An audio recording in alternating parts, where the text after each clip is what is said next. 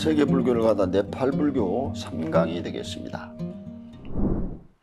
네팔 정부는 룸비니를 상역화해서 세계적인 관광지로 만들고자 애쓰고 있습니다. 이런 노력으로 룸비니는 어느 정도 규모가 잡혀가고 있고 특히 평화를 상징하는 중심지로 조성한다는 취지입니다.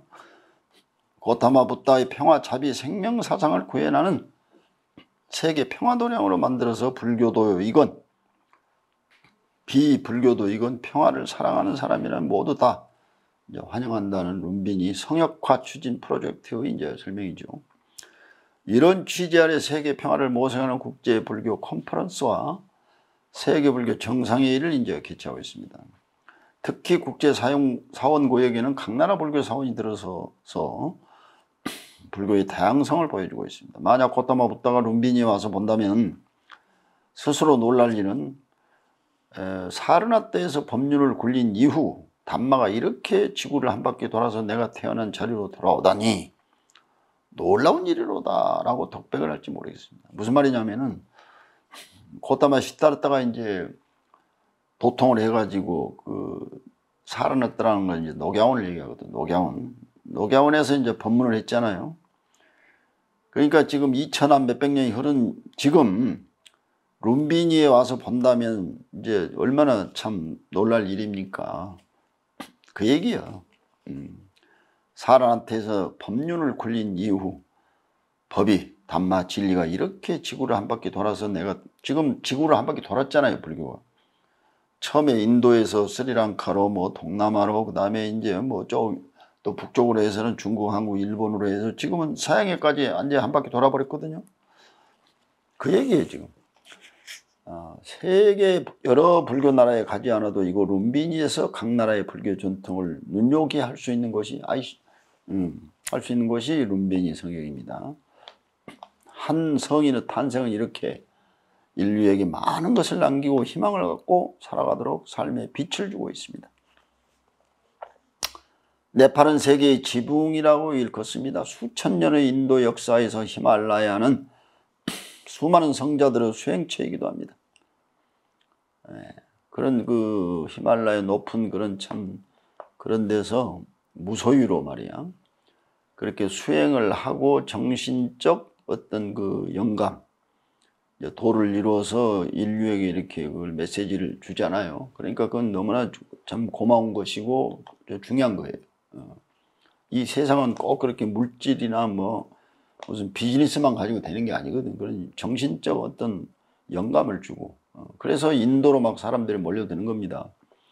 거기 가면 그 수행자들이 많잖아요. 그렇기 때문에 종교가 그만큼 중요한 거예요, 중요. 어. 요즘은 너무 그냥 그 세속화되어 버려가지고, 어, 그래서 그 얘기고 인도인들은 원래 북방의 스텝 지방과 카프카스 지역 등에서 유목생활을 하고 있었던 것으로 알려지고 있습니다.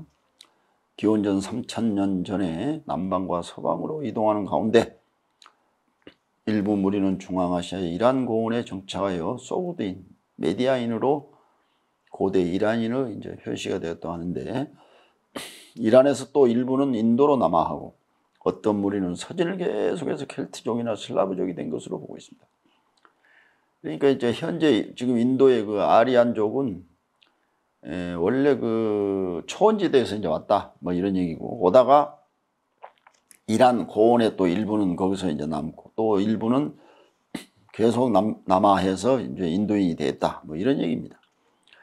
아리아인들의 기원에 관해서는 아직도 논란이 많지만 언어적으로 보면 라틴어, 그리스, 고대 페르시아어와 현대 유럽 언어들 사이의 유사성으로 볼 때 이 언어들의 공통된 조상이란 데에는 이론이 없는 것 같습니다. 인도의 산스크리트어가 라틴어와 고대 그리스와 밀접한 관계가 있다는 것을 발견한 18세기의 영국인 윌리엄 존스에 뒤이어 인도 유럽어죠. 인도 유리피안 랭귀지라고 이제 그러잖아요. 용어를 영국의 토마스 영이 처음으로 이제 사용했고 그는 하나의 발상지에서 나온 단일 민족이 이웃 민족들을 잇따라 침략하여 자기네 언어를 전파했다는 학설을 발표다. 그러니까 이 분은 이제 학설은 좀 다르지 말하자면 예, 한 민족의 언어가 그 주변 민족을 정복해서 언어적으로 정복해 가지고 이제 뭐 인도 아리안이 됐다 이제 이런 얘기고. 인도 유럽어족은 화의 분류로서 10개의 언어파가 있는데 아나톨리아파, 발트어파, 슬라브어파, 인도 이란어파, 아르메니아파, 알바니아파, 게르만어파, 그리스어파, 이탈리아파, 켈트어파, 화라파가 있습니다. 그러니까 아리아 그 말은 밑에 이제 10개의 그 언어로 이제 이렇게 또 분파됐다는 얘기고 에, 산스크리트 아리아에서 이제 유래한 것으로 고, 음, 아리아란 말은 고귀하다는 그런 뜻이죠. 그 다음에 또 아베스타어. 아베스타라고 하는 것은 조로, 조로아스트 교라고 있거든요. 이란에. 그 경전어입니다. 말하자면. 아이리아이며 고대 페르시아어로는 아리아라고 합니다. 그러니까 정설은 없지만 대체로 인도 유럽어족은 같은 조상이 사용하던 언어라고 이제 하지만 그래도 어딘지 인종면에서는 어, 상이한 점이 없지는 않습니다. 예를 들면 지금 뭐 중국을 보면은 다민족들이 함께 살면서 중국어를 쓰다 보면은 다 중국인처럼 보입니다. 그렇지만 중국인과 만주족이나 몽골족, 조선족과는 다른 것입니다. 그러니까 지금 무슨 얘기냐면 지금 저 중국 가보면은 예를 들어서 뭐 중국어를 쓰지 않습니까? 주, 중국의 한족이나 조선족이나 몽골족이나 만주족이나 그러나 그 종족은 또 다르거든. 중국어를 같이 쓴다고 할지라도 그러니까 인도 유러피언 랭귀지를 쓴다고 해서 다 같은 뭐 아리아족이냐? 그건 아니지 않냐? 뭐 그런 얘기고 이거는 이제 언어와 인종에 관한 얘기입니다만 어쨌든 마찬가지로 인도 유럽어족도 언어상으로 유사성이 있다고 하지만 인종 면에서는 이제 생각을 볼 여지가 있다. 뭐 이런 얘기고. 뭐 왜 이런 얘기까지 나오냐면요. 사가모니 부처님이 거기에 속하기 때문에 그런 거예요. 우리가 뭐 상식적으로 어, 이제 알아, 알아야 할 일이기 때문에 설명을 한 겁니다. 이제 네팔 불교에 주명하면서 히말라야 살욕의 불교를 또 알아보도록 하겠습니다. 히말라야 불교라고 하면은 에, 티베트, 부탄, 네팔 지역, 인도 지역의 그 라다크, 또 히마찰 프라데시, 우타라칸드, 다질링, 시킴과 아루나찰 프라데시입니다. 아, 히말라야 불교라고 하면 이렇게 범위가 큽니다. 지금은 히말라야 불교라고 하면 거의가 뭐 티베트 불교 전통이지만 인도 불교가 이슬람으로 대치되기 전에는 거의가 인도 불교 1세기였습니다. 어, 그러니까 지금 인도 그 원래는 이제 힌두교죠, 인도 바라문교. 그 다음에 이제 불교. 또 이제 10세기부터 뭐 10, 11세기 이제 이슬람이 돌아가지고 또 불교를 씨를 말려버렸거든요. 인도 불교라고 하면 이제 과거에 부파 불교가 이제 주류가 되겠죠. 인도 불교라 할지라도 불교가 발생하면서 1천여 년간 인도의 원형 불교가 인도 전역에 널리 유포되었고 부파 불교와 대승 불교가 공존하면서 이제 발전했습니다.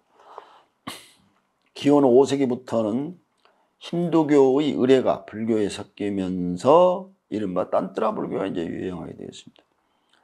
대승불교와 힌두적인 사상이나 의례가 가미되면서 딴뜨라 불교가 형성됐고 이 불교의 전통이 티베트로 전파되어 오늘날 티베트 불교가 되고 히말라야 일대는 티베트 불교가 강세입니다. 무슨 말이냐면은 불교가 인도에서 이제 발생했지 않습니까? 그러니까 한 천년이 지나니까 기원 5, 6세기가 되면서 그, 그 당시 인도 불교가 힌두교의 의례를 받아들였다 이거예요. 의례. 뭐 이렇게 푸자 말하자면 뭐, 뭐 이렇게 의식이 있지 않습니까? 의식. 그러니까 지금 보면은, 에, 스리랑카, 저기, 미얀마, 태국 불교하고 티베트 불교 좀 다르거든요. 응? 실제로 보면은 같은 불교지만 좀 달라요. 이런 그 역사적 이유가 있기 때문에 그러고 또 동아시아 불교, 중국, 한국, 일본 불교 또 이들 불교하고 약간 다르잖아요. 인도에서는 불교가 거의 전멸하다시피 했지만 티베트에서는 불교가 고스란히 보존되고 있습니다. 인도에서는 거의 800년간 불교의 공백 상태가 생겼고 지금까지 또 인도에서 전해졌던 딴뜨라 불교와 티베트로부터 다시 히말라야를 넘어서 인도로 역습이 되었습니다. 그러니까 5, 6세기, 7, 아, 7세기, 8세기에 티베트로 갔던 불교가 다시 이제는 또 히말라야를 산을 산맥을 넘어서 인도로 다시 왔다. 지금 그 얘기입니다. 쉽게 말하면 인도에서의 마지막 불교의 모습이 히말라야 산맥을 넘었다가 다시 인도로 돌아온 것입니다. 이제는 티베트의 정신적 지도인 다라일라마 법안까지 인도에 와 있을 정도입니다. 인도에 가면 티베트 불교만은 아닙니다. 인도에서 남진했던 인도의 원형 불교 전통은 인도 남단 끝에 있는 섬나라 실론, 스리랑카죠.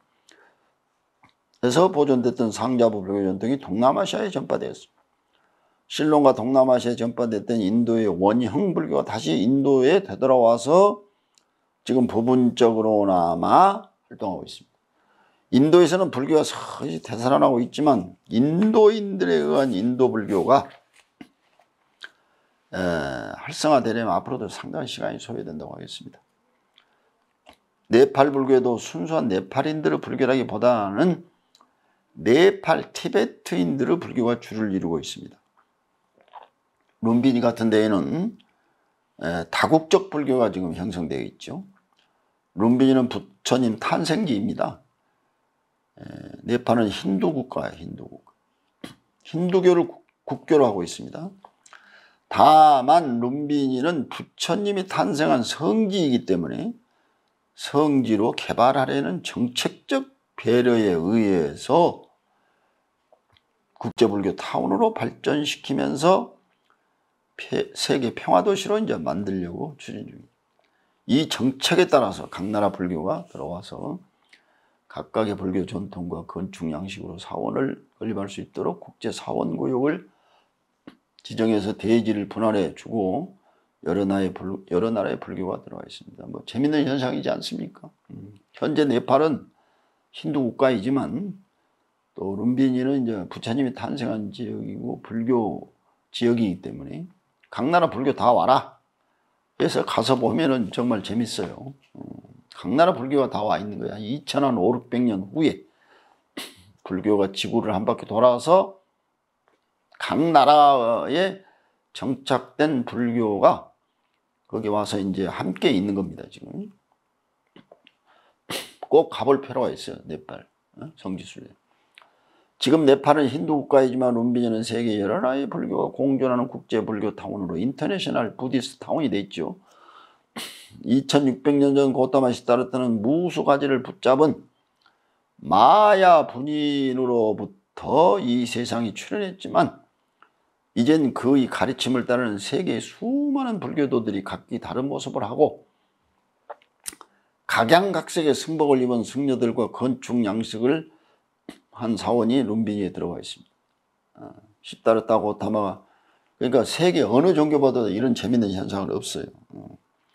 각 나라의 예, 각 나라 불교가 원래 인도에서 룸비니에서 출발했지만 어, 다양한 모습으로 이제 다시 돌아왔다 이거예요. 이제 그러니까 한 몇 천 년 후에 보니까 얼마나 재밌냐고 모습이 말이에요. 시타르타 고타마가 천상천하 유아독진을 외치면서 탄생한 룸비니 동산 지금 세계 평화를 상징하는 평화마을로 개발 중입니다. 그러니까 부처님은 천상천하 유아독진을 외쳤거든요. 그는 인간의 생명의 고귀함을 얘기한 겁니다. 그것이 바로 평화, 평화예요, 평화. 천상천하 유아독전이라는 말은 요즘 말로 말하면 평화예요. 평화를 인간의 생명뿐만 아니고 모든 존재에 대한 어떤 생명의 고귀함과 평화를 부르짖은 거거든. 그러니까 요즘 말로 다시 뭐 가서 천상천하 유아독존 하면 안 되지 않습니까? 그러니까 world peace를 외치는 거예요. 세계 평화를. 왜냐하면 세계 평화를 지금 해야 되거든. 전쟁이라든지 뭐 여러 가지 인류에게 기후 변화라든지 지금 지구촌이 지금 완전히 지금 어, 황폐화되어 있지 않습니까? 갈등, 인종 갈등이라든지 이런 것을 우리는 세계 평화라는 world peace라는 이름으로 음, 함께 우리는 인간성을 되찾자 이제 이런 얘기거든요. 그것이 이제 불교 지금 네팔 룸비니 동산에서 이제 상징적으로 하고 있다는 얘기입니다. 룸비니 개발위원회는 1985년 네팔 정부에 의해서 창립되었습니다. 어, 싯다르타의 어머니 마야 데비는 친정으로 가는 길에 시따르타를 낳았습니다. 당시 인도의 풍습은 출산을 위해서는 뭐 첫 시간에 내가 얘기했죠. 대개 친정집에 가서 출산하는 전통과 관습이, 있, 관습이 있었습니다. 예, 동서사방으로 칠보를 행하면서 외친 선언은 인간의 존엄성을 상징하는 구호가 되겠죠. 여기서 이제 칠보 왜 하필이면 칠보냐? 한열번 정도 걸지, 걷지. 그 당시에는 8, 9, 10이라는 숫자가 없었어요. 어? 7까지 밖에 없었어요. 1, 2, 3, 4, 5, 6, 7. 그 다음에 이제 8이 생기고 9가 생기고 0이 생겼어요. 0.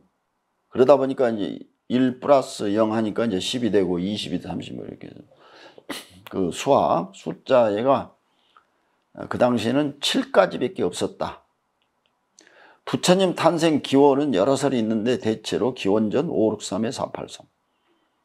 500, 기원전 563년에 태어나서 483년에 들어가셨다. 이것은 남방불교설을 따는 것이고 또 북방불교에서는 또 달라요. 3천년설을 또 주장해요. 부처님은 3천년 전에 태어났다 이거예요.